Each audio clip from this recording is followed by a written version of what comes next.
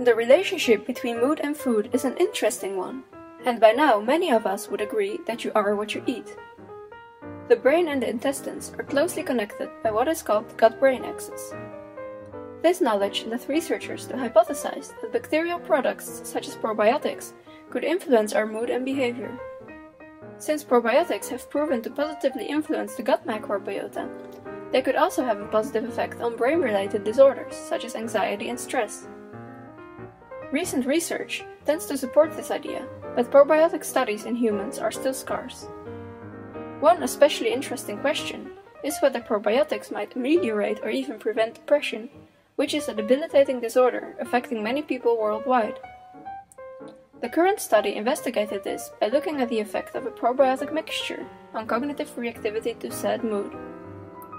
This mixture, developed by Winclove Probiotics and called Ecologic Barrier, contains 8 different probiotic bacteria, among which bifidobacteria, lactobacilli, and lactococci.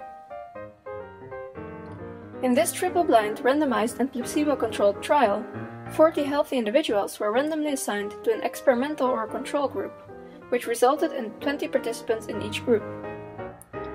In the pre-intervention phase, all participants filled in the revised Leiden Index of Depression Sensitivity, a validated questionnaire that assesses cognitive reactivity to sad mood.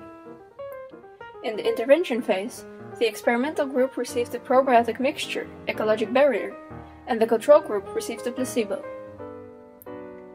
After four weeks of taking this supplement, all participants again completed the revised Leiden Index of Depression Sensitivity questionnaire in the post-intervention phase. So what happened with those who took the probiotic mixture? The results are very promising. In the pre-intervention phase, there was no difference in cognitive reactivity to sad mood between the two groups.